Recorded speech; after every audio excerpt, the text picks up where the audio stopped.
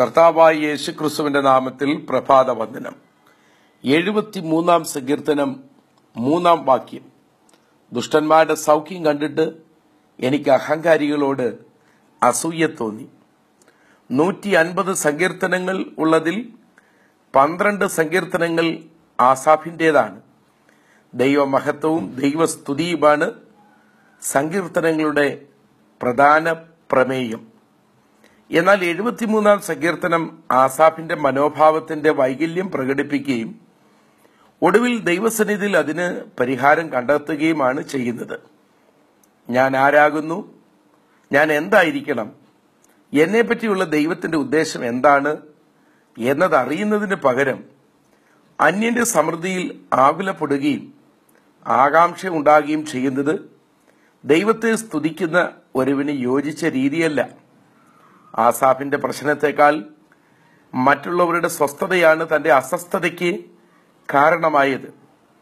പ്രശ്നത്തിന്റെ സാഹചര്യത്തെക്കാൾ അതിനോടുള്ള നമ്മുടെ സമീപനമാണ് പ്രധാനം.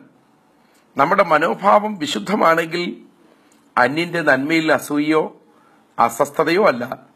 സന്തോഷവും സമാധാനവുമായിരിക്കും നമുക്ക് ഓരോരുത്തർക്കും ഉണ്ടാകുന്നത്. ലോകത്തിൽ എത്രയോ ആളുകൾ അന്യായമായി സ്വകാര്യ ദുഃഖവുമായി നടക്കുന്നുണ്ട്. അവർ അവർ ആർക്കെതിരെ ചിന്തിക്കുകയും ഉറക്കം നഷ്ടപ്പെടുകയും ചെയ്യുന്നുവോ? അതിന് കാരണമായവർ ഇതൊന്നും അറിയാതെ അവരുടെ കർമ്മമണ്ഡലത്തിൽ ഉത്സാഹത്തോടെ സമാധാനമുള്ളവരായി കഴിയുന്നു. നാം അറിഞ്ഞും അറിയാതെയും നമ്മെ നിരാശപ്പെടുത്തിയും നശിപ്പിച്ചും കൊണ്ടിരിക്കുന്ന സ്വയം എടുത്തണിഞ്ഞ ചങ്ങലകളെ പൊട്ടിച്ചെറിഞ്ഞു കളയുമെങ്കിൽ നമ്മുടെ ആവലാതികൾ ആരാധനയ്ക്ക് വഴിമാറാൻ ഇടയാകും.